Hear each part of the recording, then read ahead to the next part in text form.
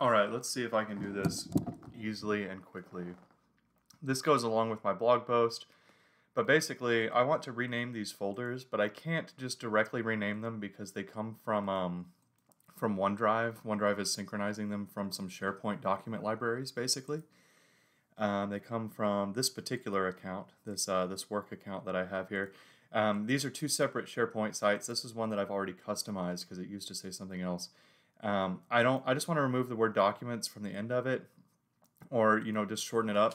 But I can't actually rename it. What I can do is use a hidden system desktop.ini file, and one already exists in this folder. It's what's causing this eFlorist folder to show with the name of eFlorist, even though the actual folder name is Teleflora LLC. Um, something else. Where is it? Oh, here we go. eFlorist dash documents is the actual name, but I want it to just say eFlorist. So I want to do the same thing for these folders, um, and to make it, it, it's easy since I've already done it once. So what I'll do is open a, um, a terminal window in the eFlorist folder. It's already got the um, it's already got the desktop.ini file in there. You can't see it, but if you were to go into the address bar and start typing desktop.ini and hit enter, it would open it up in Notepad. And you can see here is where I have the override of what the local name should be. Basically what I want it to show as, even though, even though the folder name is dash documents, here's what it will show as. So I just want to copy this desktop.ini folder or file into this other folder.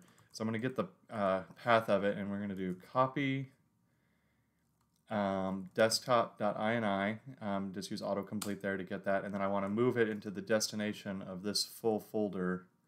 And I think this ought to work. Let's hit enter.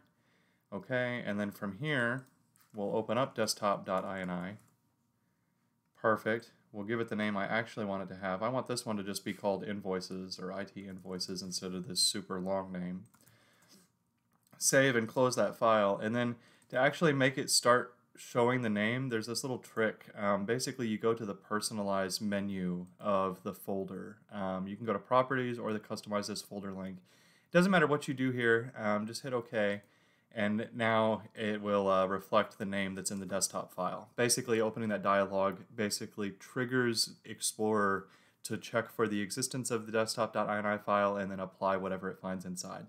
Um, let's do the exact same thing to this one. So I'm going to copy this path We'll come up here and reuse this command.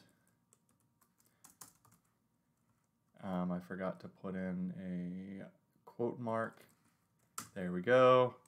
Then we'll do the same thing, desktop.ini.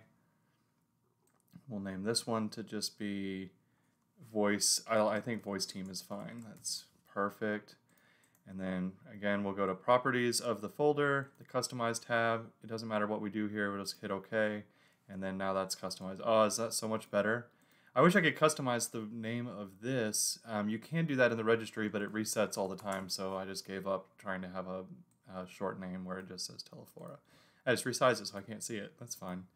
Um, and that's a subject for a whole other video. But now I have concise folder names that are still pretty applicable, but not this long crap that um, is in the actual folder name. So that's it.